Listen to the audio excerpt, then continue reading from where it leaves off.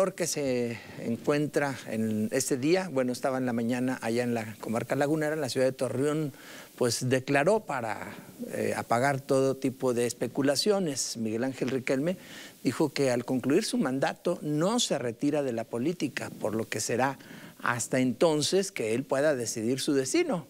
Y otra de las situaciones también que aclaró es que pues sí tiene muy claro que no le va a estorbar al próximo gobernador. En torno a las encuestas nacionales que lo ubican en el primer lugar como el gobernador con mayor aceptación en México, Miguel Ángel Riquelme Solís indicó que terminará su administración como la inició, con los pies en la tierra, por lo que dijo ninguna encuesta o calificación va a empujar ambición política, ni lo hará tampoco hacer locuras o tonterías. Lo que sí dejó claro es que continuará en la vida política de Coahuila y del país, aunque prefirió esperar a terminar su sexenio para dar a conocer su decisión. Digo tampoco que me voy a, dedicar a vender este, semitas ni nada de eso,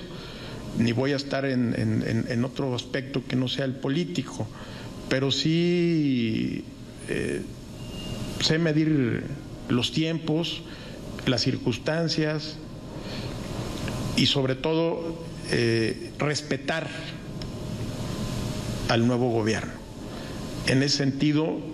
yo ya definiré cuando, cuando termine esto el 30 de noviembre